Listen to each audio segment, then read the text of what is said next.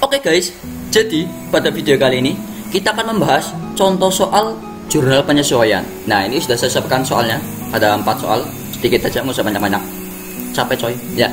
Tapi sebelum kita langsung ke contoh soalnya, langsung pembahasan contoh soalnya, sebelumnya saya bakal menceritakan sebuah kisah asal usul legenda jurnal penyesuaian. Mengapa sih ada yang namanya jurnal penyesuaian? Mengapa sih di dunia ini, di dunia perakuntansian ini, wadidaw, ya di, di proses pencatatan akuntansi ini harus ada yang namanya jurnal penyesuaian. Nah ini saya akan kasih tahu kepada kalian. Kenapa sih? Karena gini guys, dari saya buka contekan dulu. Kita salah coy. Ya. Gini guys, jadi jurnal penyesuaian itu dibuat pada akhir periode, akhir periode ya. Berarti dibuat pada saat akan melakukan akan membuat laporan keuangan. Nah, misal kalau suatu perusahaan perusahaan perusahaan perusahaan X misalnya, dia eh, laporan keuangannya itu dibuat setiap tahun. Berarti tiap tahun misal dibuat dari mulai tanggal 1 Januari sampai 31 Desember. Berarti jurnal penyesuaiannya dibuat per tanggal 31 Desember itu dibuat pada saat akhir periode. Pada saat akan membuat laporan keuangan ya. Ya gitu guys. Itu akhir periode. Nah, misalnya guys, ada toko buku lah. Toko buku Nah, dia ini pada tanggal 31 Desember Desember itu sesuai catatannya bahwa persediaan pulpen itu totalnya tinggal 100 100 PCS apa? Biji PCS ya PCS ya. Harusnya 100 100 biji ini.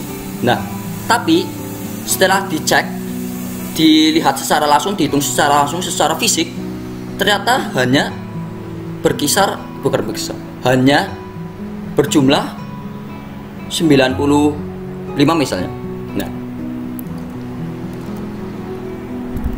Setelah dicek hanya 95 PCS. Nah, berarti 5 ini aslinya harusnya 100, tapi dicek cuma 5 eh, cuman 95 nah limanya ini ke mana?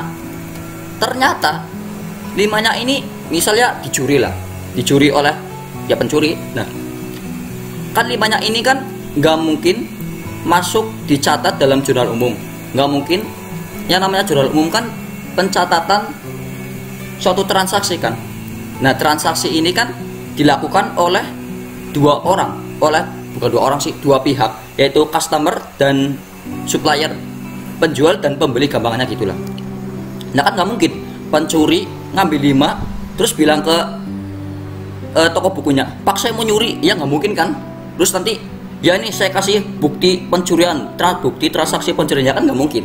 Makanya nah lima ini barang yang hilang lima ini dicatat dalam jurnal penyesuaian.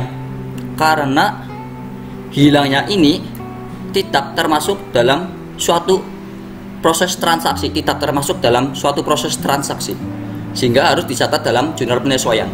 Seperti tadi saya jelaskan untuk menunjukkan keadaan sebenarnya sebelum penyesuaian laporan keuangan. Harusnya dicatat sesuai pencatatannya itu 100 tetapi pas dicek cuma 95 nah berarti kan keadaan sebenarnya cuma 95 limanya ini hilang dicuri. Nah limanya ini dicatat di jurnal penyesuaian. Gampangnya gitu guys. Kalau nggak maksudnya searching di Google lagi ya.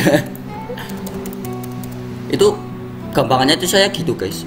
Jurnal penyesuaian itu untuk mencatat transaksi yang aneh-aneh gimana gitulah. Ya nggak aneh sih. Ya namanya juga menyesuaikan sih. Menyesuaikan ekosistem menyesuaikan diri terhadap lingkungan. Wadidaw oh ya anak anak sosum. Ya. Lanjut aja kita ke contoh soalnya. Ke soalnya. Ini mau udah saya jawab bentar saya tutupin dulu. Nah udah ketutup nih guys. Nah langsung aja kita contoh soal yang pertama. Bentar guys saya buka contekan juga dulu. Nah diketahui PT mencari cinta sejati. Tahu ini buat yang sering main Facebook zaman zamannya tahun 2010an lah ya. Ini pasti tahu lah ya namanya PT Mencari Cinta Sejati. Lanjut fokus fokus. Pada tanggal 1 Januari membeli bahan habis pakai sebesar 5 juta. Nah dan pada akhir bulan Januari akhir bulan Januari diketahui bahan habis pakai tersisa 200 ribu. Oh penyesuaian berarti disuruh mencari membuat jurnal penyesuaian tanggal 31 Januari. Nah berarti maksudnya ini berarti PT Mencari Cinta Sejati membuat laporan keuangan tiap bulan ya? Karena penyesuaian 31 Januari berarti akhir bulan tiap akhir bulan. Nah pertama berarti pada tanggal 1 Januari ini membeli bahan habis pakai sebesar 5 juta. Berarti pada tanggal 1 Januari ini PT Mencari Cinta Sejati pertamanya bikin jurnal umum dulu ya. Ini sudah saya sampai ini jurnal umum ini jurnal penyesuaiannya pada tanggal 1 Januari dia membuat yang membuat mencatat bahan habis pakai. Senilai berapa tadi? Membeli 5 juta. Senilai 5 juta. Nah terus membeli ya berarti ya kas kasnya berkurang. Senilai ya 5 juta itu. Nah maka jurnal penyesuaiannya diketahui bahan habis pakai tersisa 200 ribu ya. Akhir bulan Januari tersisa 200 ribu. Berarti bahan habis pakai ini kan nama lainnya kan eh, apa namanya persediaannya dijual. Nah berarti bahan habis pakai yang hasilnya 5 juta tersisa 200 ribu berarti dijual senilai ya 5 juta ini dikurangin 200 ribu ini. Berarti sudah terjual 4 juta 800 ribu ya. Maka debitnya ada beban. Bahan habis pakai. Senilai berapa? Ya tadi 4 juta 800 ribu. Karena aslinya awalnya 5 juta terus tersisa tinggal 200 ribu. Nah berarti kan 4 juta 800 nya kan udah kejual. Ya gitu ya. Beban bahan habis pakai. Ya beban persediaan lah. Terus kreditnya bahan habis pakai karena kan bahan habis pakai kan termasuk dalam aset. Nah ketika berkurang di kredit senilai yang 4 juta 800 itu contoh nomor nomor satu. Oh ya guys bocah belum tahu kenapa sih contoh nomor satu ini dicatat dalam jurnal penyesuaian. Nah gini guys. Dalam pencatatan perusahaan dagang maupun manufaktur ada yang namanya catatan Vivo Livo average gitulah ya Nah, pencatatan jurnalnya juga ada dua metode, yaitu metode periodik sama metode perpetual. Nah, berarti kalau ini contoh kasus ini PT Mencari Cinta Sejati ini menggunakan metode periodik ya. Karena hanya dihitung 1 Januari beli. Terus akhir bulan diketahui bahan habis pakai tersisa 200 ribu. Berarti harusnya kan normalnya nggak mungkin kan 1 Januari sampai 31 Desember Januari nggak ada transaksi. Pasti kan ada beli jual beli jual beli jual gitu. Nah tiap beli jual beli jual beli jual ini nggak nggak dicatat loh. Nggak dicatat dalam kartu persediaan. Buat yang belum tahu ya sabar ya. Ya mungkin lain waktu lah saya lain waktu saya bikin video tentang Vivo Livo average gitulah ya. Tapi intinya ini contoh nomor satu ini PT Mencari Cinta Sejati ini menggunakan metode periodik ya. Nah clear ya contoh nomor satu. Yang belum maksud ya sabar ya. Intinya gitulah yang nomor dua PT memberi harapan palsu. Wadidaw PHP coy. Pada tanggal 1 Maret ini saya buat lucu ya ini komedi loh. Ini harusnya lucu loh. Yang nggak ketawa berarti selera humor kalian itu ya ya ya tinggi mungkin ya. Ada saya aja lanjut aja fokus fokus. Pada tanggal 1 Maret menerima pembayaran sewa untuk lima bulan. Yaitu Maret sampai Juli. Lima bulan ya? Tanggal 1 Maret Maret Maret April Mei Juni Juli. Oh ya lima bulan sebesar 100 juta pemberi harapan palsu ini membuat laporan keuangan tiap bulannya berarti ini disuruh membuat laporan keuangan bulan Maret ya tanggal 31 Maret penyesuaiannya Berarti PT PHP ini pada tanggal 1 Maret kan memberi menerima pembayaran sewa untuk lima bulan. Berarti dia itu harus mencatat jurnal dulu, jurnal umum tanggal 1 Maret yaitu menerima pembayaran sewa. Nah, ini dalam menjurnal kan ada dua proses, ada dua metode ya. Yaitu metode pendekatan neraca sama metode pendekatan laba rugi. Nah, saya di contoh ini saya con saya jawab pakai metode pendekatan neraca ya. ya soalnya pendekatan laba rugi saya belum belum maksud saya ya jujur saja saya belum maksud ya ya nggak apa-apa saya juga terserah saya ini kan saya yang buat ini kan channel YouTube saya saya bikin video terserah saya dong. Mau bikin metode pendekatan neraca pendekatan laba rugi terserah. Nggak usah marah tuh biasa aja tuh nggak usah ngegas gitu loh biasa aja. Nah. lanjut. Fokus fokus fokus dulu fokus. Pada tanggal 1 Maret berarti menerima pembayaran sewa. Menerima pembayaran sewa. Kalau metode neraca ya berarti PT Pemberi Harapan Palsu ini pada tanggal 1 Maret menerima pembayaran sewa ya. Berarti kan dia menerima duit sebesar 100 juta ya uh, sesuai ini nih. Nah terus kreditnya karena menerima pembayaran sewa untuk lima bulan berarti dia itu menerima yang namanya pendapatan sewa diterima di muka. Karena apa? karena ini kan perjanjiannya untuk lima bulan. Nah dia langsung menerima duit sebesar 100, 100 juta ini untuk lima bulan. Nah berarti kan dia pendapatannya pendapatan sewanya diterima di muka. Nah pendapatan sewa diterima di muka ini termasuk dalam bisa dikategorikan sebagai hutang ya guys. Karena dia harus dia sudah menerima duit tapi dia penyesuaian 31 Maret. Nah berarti dari bulan April Mei Juni Juli dia masih harus dia masih punya hutang jasa hutang jasa hutang menyewakan apa yang dia sewa. Dia menyewakan terhadap eh maaf ntar guys dicas dulu akuntansi acas harus selalu dicas wah gitu Oke lanjut ya. Apa tadi? Berarti kan dari bulan April, Mei, Juni, Juli dia punya hutang, dia punya kewajiban untuk memberikan jasa sewa terhadap customernya ini. Berarti kan dia termasuk hutang. Dia punya kewajiban untuk me melunasi jasanya gitu loh ya. Nah, itu pendapatan sewa diterima di muka. Nah, jurnal penyesuaiannya pada tanggal 31 Maret yaitu karena dia menyesuaikan untuk satu bulan ya bulan Maret doang. Berarti kan ini 100 juta untuk lima bulan. Berarti per bulannya sekitar yaitu ya 20 juta lah. Sebulannya 20 juta ya. Berarti jurnal penyesuaiannya debetnya itu karena pendekatan neraca tadi kreditnya pendapatan sewa diterima di muka maka debitnya itu pendapatan sewa diterima di muka. Nah, karena hanya mencatat bulan bulan Maret doang satu bulan doang, sedangkan sedangkan perjanjiannya untuk lima bulan, berarti hanya mencatat satu bulan. Satu bulan dibagi lima bulan dikali 100 juta ini. Ya, 20 juta.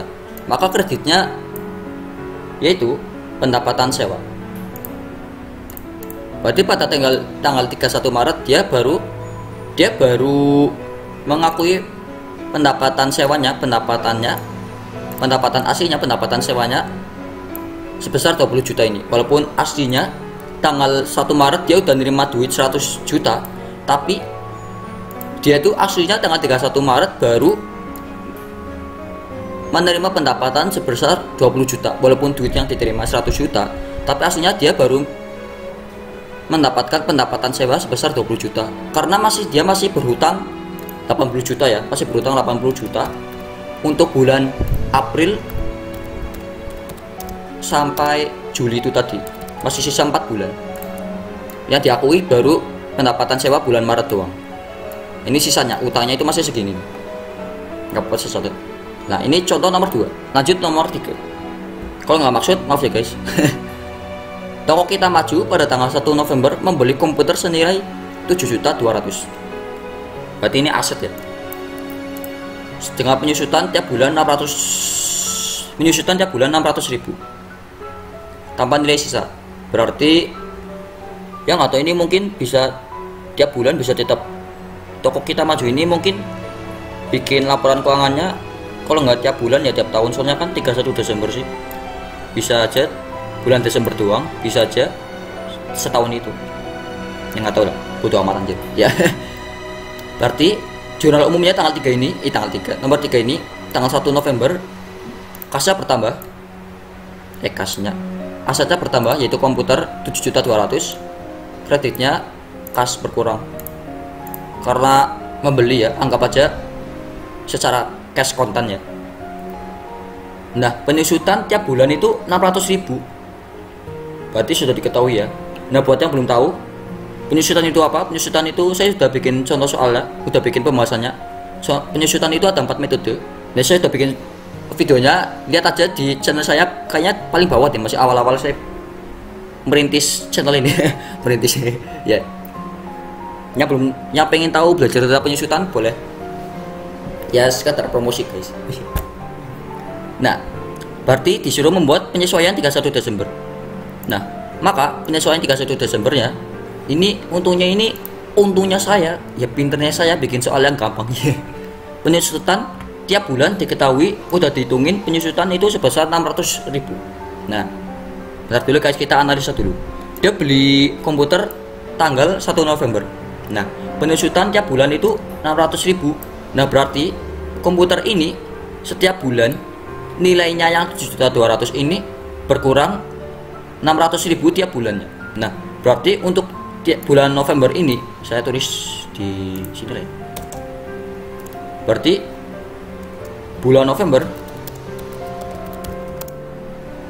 yang aslinya 7.200 berkurang tiap bulan sebesar 600 ribu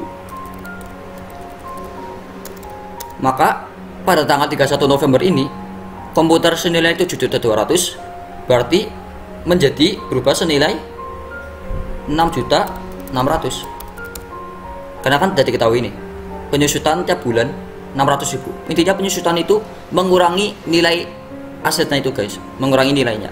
Ya karena kan komputer kan termasuk aset.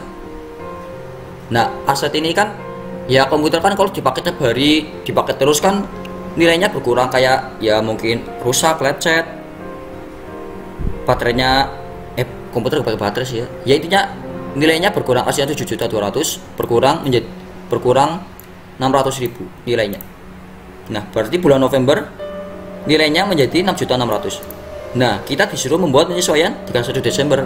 Nah berarti dari bulan tanggal 1 November sampai 31 Desember melewati sudah mengalami eh melewati masa dua bulan ya.